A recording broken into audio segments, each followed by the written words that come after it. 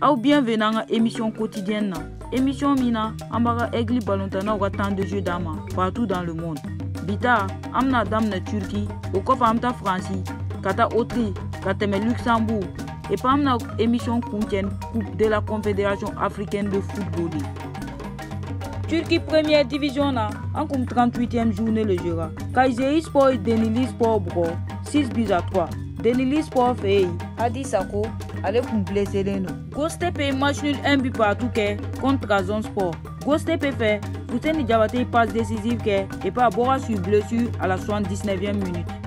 ligue de française ra an kun match en retard de la 31e journée le jeu ra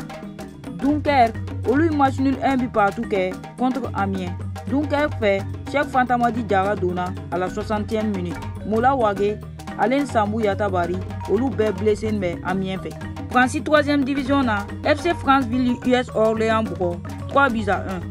franceville fɛ mohamɛd gilabogi donna a la 84e minute classement na franceville 3iyɛme ne autriche première division na olu kun 28e journée le jeu surumgra ni las olu matchini 0 bi partout kɛ amadou dante mati bɛ joué ni surumgra ye luxembourg championnat na mana danbele ka union luxembourg jeunesse it bugɔ 1 but a 0 mana danbele mati bɛɛ jeu komi an y'a fɔ cogo ma daminɛ an bena bita kuncɛni coupe de la confédération africaine de football le olu kun phase de groupe dernière journée le jura essetif ni malik ture b'olu fɛ gaɲena 1 but a 0 contre el ali de bengazi